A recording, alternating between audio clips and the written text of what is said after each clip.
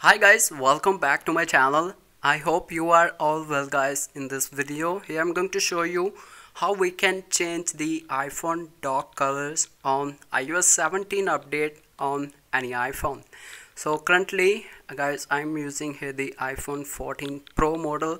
So let me show you firstly the software version that I am using on my iPhone 14 so first of all let's jump into the about section and you can see this is the latest update iOS 17.0.3 so make sure you also update your iPhones on this latest update so that you can easily achieve this changing dock colors of any iPhone. So first of all we just need to jump into the iPhone lock screen just like this one. And now give a long press here and click on this plus icon and select here any of the wallpaper colors which you like. So now you can check out here there are various variety of wallpapers that you can easily set up on your iPhone lock screen or home screen. So I want to select here this kaleidoscope wallpaper and this is in orange color. I select here this one and just tap on this add option and select here the set as wallpaper pair so now you can check out the dock color will be changed automatically. As you can see in this wallpaper the dock color is transparent and just like the brown color.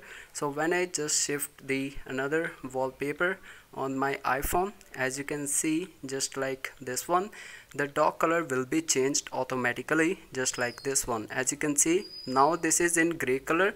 So when I change the wallpaper here on my iPhone as you can check out here the dock color will be changed automatically and just I select here this blue color wallpaper and the dock color will change just like in the blue color.